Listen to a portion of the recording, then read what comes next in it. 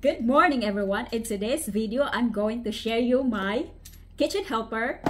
I have this a while ago and I am going to share you my review of this product that I got from Amazon. Somebody commented on my video I was making a cashew butter and she's asking what kind of food processor that I used. So in this video, I'm going to cover, I think there are 11 attachments with a different function. So there is an attachment for whipping and for kneading. There is also two different size slicing attachment. One is coarse slicing and the other one is fine slicing. I can just slice anything on it and I love it because it makes uniform size plus it won't take time. And another attachment here is for grating. And of course, everybody loves fries. So there is also an attachment for uh, fry slicing. For a fresh squeezed orange juice, this machine serves you. Yes, it has also an attachment for citrus juicer. And in this blade attachment, I can use for almost everything. I use it for making my plant-based milk like oat milk, almond milk, and right now I am making a cashew milk.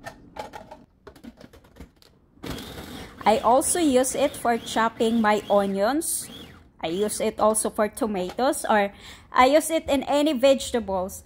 And also, I use it also for uh, making a cashew butter and yes, if you want to check how I make cashew butter, you can see it in my uploaded video.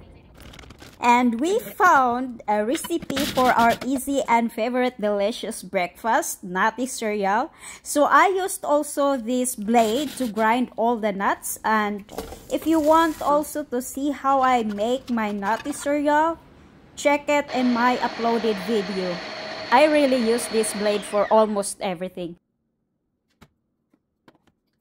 And another attachment is for shredding. I use it for cheese or carrots or whatever I wanted to shred.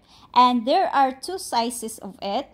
One is for fine shredding and the other one is for coarse shredding.